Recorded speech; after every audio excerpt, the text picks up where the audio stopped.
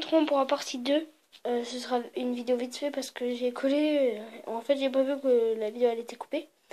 Alors, comme j'étais en train d'expliquer, là, la vidéo elle va se terminer ici. La 2.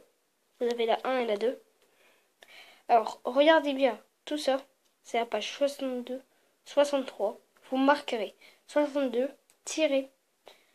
Et là, regardez bien tous les numéros. Il y en aura en plus qui vont être collés. Et vous mettrez dans les commentaires. Par exemple, euh, 444. Bon.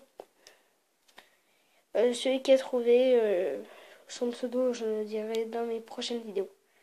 Alors, voilà.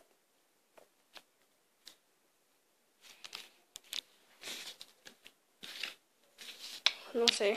Bon. Alors, voilà. On se retrouve demain pour la partie 3 de Euro UEFA 2016.